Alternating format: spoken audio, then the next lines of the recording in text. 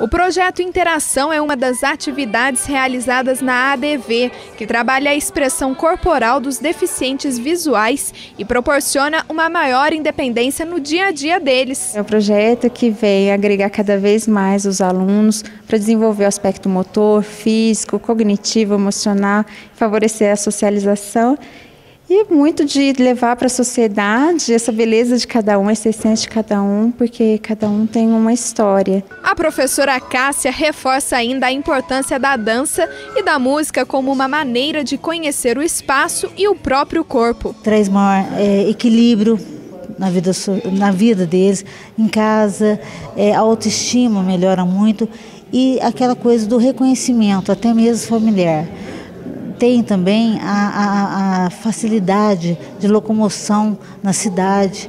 E isso nós trabalhamos aqui nas aulas, o equilíbrio e a socialização.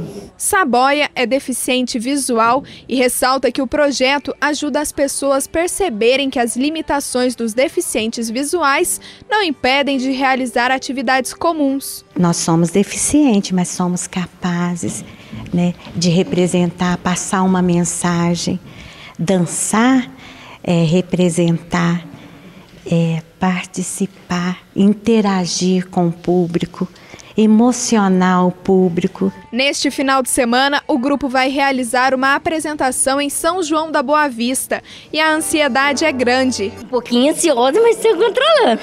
Já é a segunda vez que eu vou, mas a gente controla. Na hora dá um pouquinho de nervoso, mas vai vai passando, a gente vai se soltando, vai relaxando. É, a gente fica ansioso, né? Porque a cada apresentação, é, depois a gente vai se soltando, né? É natural, acho que, do ser humano, todo mundo fica, né? A gente é humano também, a gente, né? Então a gente se sente bastante emocionado.